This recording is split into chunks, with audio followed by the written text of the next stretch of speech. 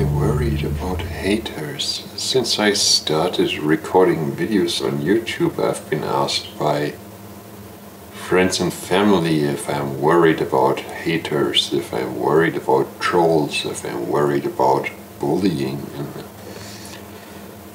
the thing is, in my experience so far, um, posting videos of mine, especially from the Star Trek and Star Wars kind of stuff uh, on related groups on uh, Facebook.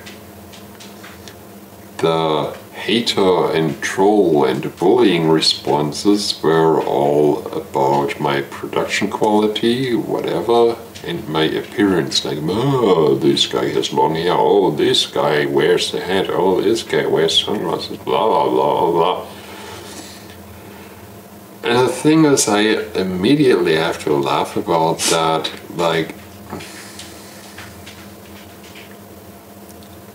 we're talking about franchises like Star Trek and Star Wars uh, that have been usurped by absolutely extreme, uh, uh, extremely monopolistic, extremely uh, monstrous corporations uh, that try to turn the original idea into uh, water it down into something everybody can buy into uh, taking franchises that previously were uh, for a specific kind of group were appealing to a specific kind of group especially Star Trek.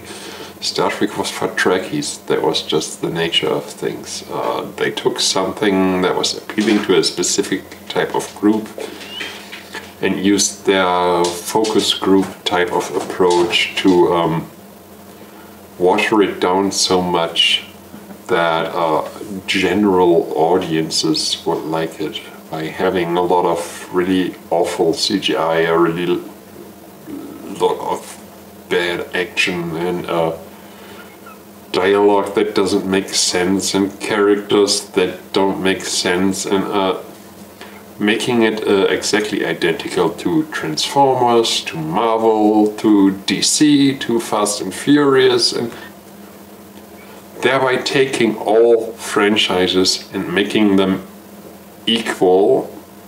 And all these different franchises all had their different fan groups, and the idea is make them all into one solid, big, incongruous sludge that doesn't mean anything. So being a fan doesn't mean anything anymore, you're just some big sludge of general people who like stuff.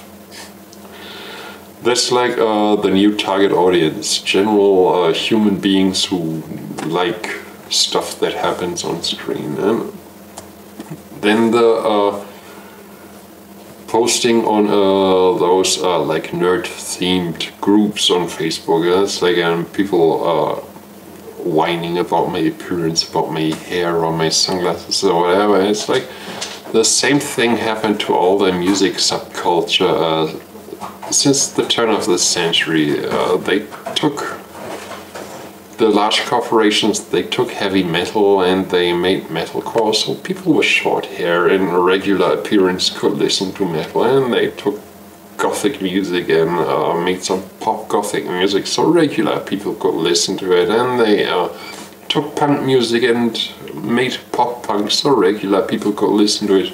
So they sucked up all the distinct subcultures uh, to try to make them into something the general audience would appreciate, but the uh, unique fan groups wouldn't appreciate anymore to uh, be part of that whole big equalized sludge of general human beings who like stuff. And it's just the way it is now, that uh, all the subcultures in music are disappearing one by one. You, you uh, In the 90s you used to see heavy metal fans, you used to see goth people, you used to see punk people, you used to see the, uh, you know, the ska people and the uh, skinhead people and the hip hop people were back then a distinct subculture that wasn't just mainstream pop shit, just with different vocals.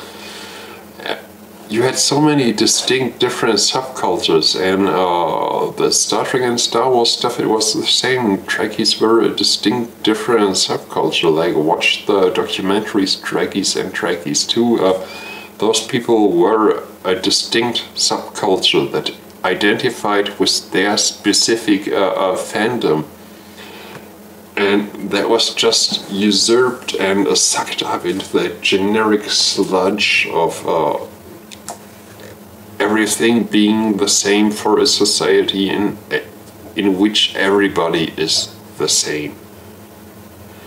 And here's the big irony uh, that uh, unravels itself when I am asked if I'm worried about haters, and all the haters I get so far are about my appearance. Uh, the people who whine about my appearance, uh, they are obviously uh, wanting to be part of this big generic sludge where everybody is the same, where there's no distinct individuality anymore, where everybody is just exactly a clone of every other person.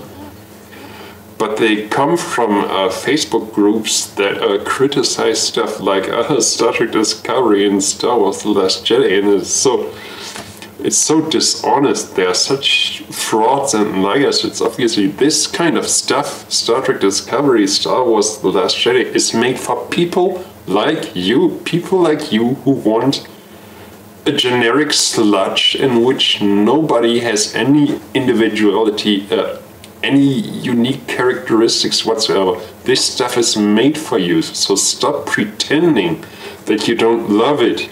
You love it.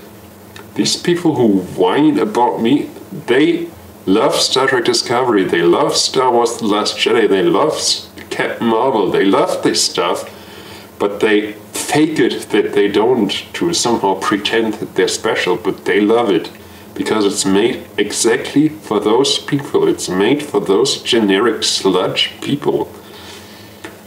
That human trash with no value whatsoever that stuff is made for you and you love it. This is your favorite stuff, and if you're pretending otherwise, everybody knows you're pretending. You're pretending, and everybody can see it. You're the only one who believes that people cannot see it uh, when you're pretending, but it's so obvious. You're just generic sludge clone people. So, yeah, am I if friends or family ask, Am I worried about those people, about generic sludge clones who pretend they're anything other than that?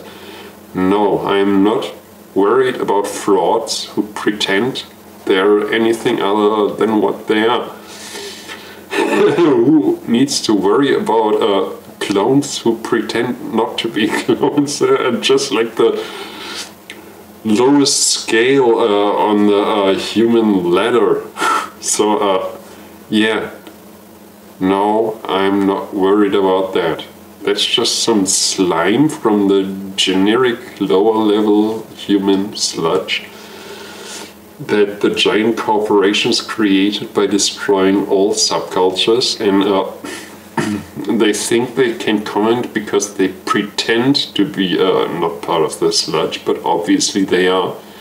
So, uh, and everybody sees through their pretending, and there's still no reason to take anything they say seriously because they're just generic cloned sludge.